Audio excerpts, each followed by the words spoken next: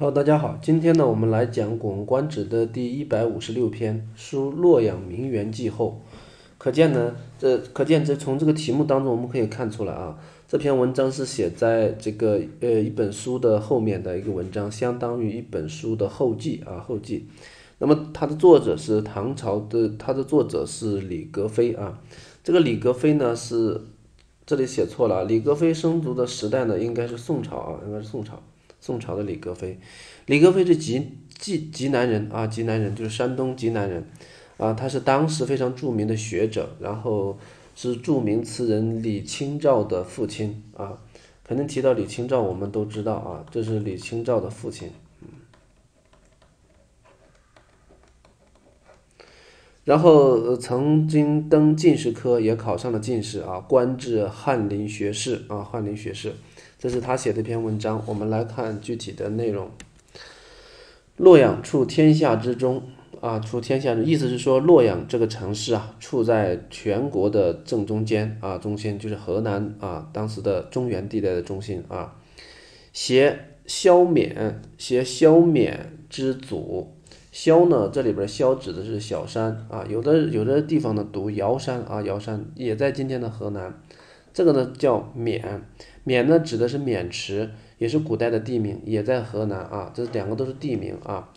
辖这个萧冕之祖，当秦陇之晋侯，而赵魏之走疾，盖四方必争之地也。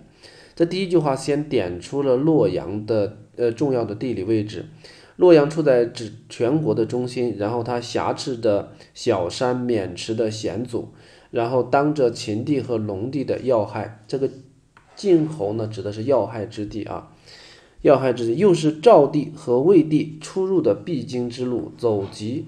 这个走疾的本意呢，是指这个争相奔走、相互集会的地方。那么在这里引申为出入的必经之地，也就是赵魏这两个啊两地的必经之路，所以盖四方必争之地。那么从这个地理位置上来看呢，洛阳是四方啊。必争的啊，呃，必争之地啊，就是它地理位置非常重要。天下当无事则已，有事则洛阳必先受兵。那么天下太平无事便罢了，如果有事，那么洛阳呢必先会受到兵灾啊，兵灾，因为它地理位置很重要啊。欲故常曰：洛阳之盛衰，天下治乱之后也。那么我曾经说到啊，我曾经说到洛阳的兴衰，呃，兴盛与衰败，乃是天下太平和动乱的征候。后呢，可以是征兆、征候啊。也就是说，从这一句话可以看出来，洛阳啊，洛阳这个地方啊，可以呃，从洛阳的兴衰就可以看出来天下的太平和动乱啊。以一叶知秋啊啊，唐贞观开元之间，公卿贵戚开馆列地于东都者，号千有余地。这句话是唐代的贞观和开元年间。公卿贵戚啊，这是一种人啊，很有钱的啊，当大官的啊，贵戚，在洛阳修建这个馆舍和府地的人啊，馆馆舍和府地就是开馆列地于东都者啊，就在洛阳者号千有余地。那么大概有多少呢？那大概有一千多户啊，大户人家都住在这里，极其乱乱离啊，极其乱离，既以武技之库啊。那么等到他发生战乱的时候，人们就开始四处逃散。接着呢，又是五代十国的时代，非常残酷的这个战祸啊，五季指的是五代十国。那么那个是个很战乱的年代啊。那么经过这样的战乱，洛阳变得怎么样呢？其池塘诸树，冰扯柔促啊，这个字念促，废而为丘墟。呃，那些池塘诸树啊，都被兵车蹂躏啊，荒废成了土堆啊。高亭大榭，烟火焚燎，化而为灰烬。那么所有的高高高的亭子，还有大大大的谢台，然后被烟火呀都焚烧掉了，化为了一片灰烬。与唐共灭而俱亡，他跟唐朝一道灭亡了，一处也没有剩下，叫无余除矣。欲故常曰：原有之兴废，洛阳生衰之后也。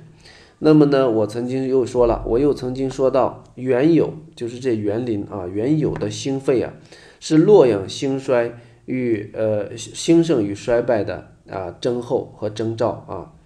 然后接着往下看，且天下之治乱，后于洛阳之盛衰而知；洛阳之盛衰，后于原有之兴废而得，则名园记之作，欲其徒然哉。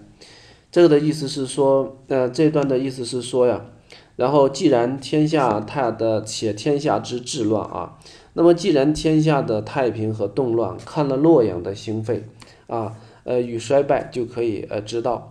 那么洛阳的兴盛与衰败呢，看了原有的兴盛与衰败就可以知道。那么《洛阳名园记》的撰述的写作，我难道是白白花了功夫吗？啊，就是说他。这是应该做的一本书啊，他其实讲了他做这本书的初衷啊，做这本书初衷。呜呼，公卿大夫方进于朝，放乎一己之私，自为之，而忘天下之治乎？欲退降此，得乎？唐之末路是也。呃，呜呼是感叹词，爱的意思啊。然后公卿大夫们呢，正在朝廷当权的时候，如果放纵一子的一己的私欲，只知道为了自己，却忘却了天下的太平和动乱，而且想要退回来享受着园园林的轻福，能办得到吗？也就是呃，用一句话来概括，就是如果国家都不存在了，你想回来再享清福，这是办不到的啊。唐朝的末路就是这样子的，就是唐朝的灭亡就是这样子的，我们就可以看得出来啊。所以这里边呢，他点出了他的这个利益啊，就是呃告诫卿大夫啊，不可图一己之私而忘记天下之治乱，因为先有大家，然后才会有小家啊，才会有小家，这个要特别注意。所以在书呃在整个篇文章当中啊，我们可以看出。他从园林的兴废，我们可以看出洛阳的兴衰，然后从洛阳的兴衰，我们又可以看出天下的治乱。那么就是要最后提出一个告诫：我们不能图一己之私而忘天下之治乱。所以他呃立脚点很小，但是立意呢非常的高远啊高远。那么根据《宋史》的记载，这篇文章刚刚面世不久，洛阳呢就被金兵所攻占，然后当时的人都称李格非啊。呃，说时人谓之知言啊，就是说李格非这个人呢，好像有能够预测的呃功能啊，知言就是这篇文章啊，刚刚写完不久，然后呢，洛阳就被金兵攻陷啊，这是这是李格非的这篇文章，我们呢就讲到这里啊。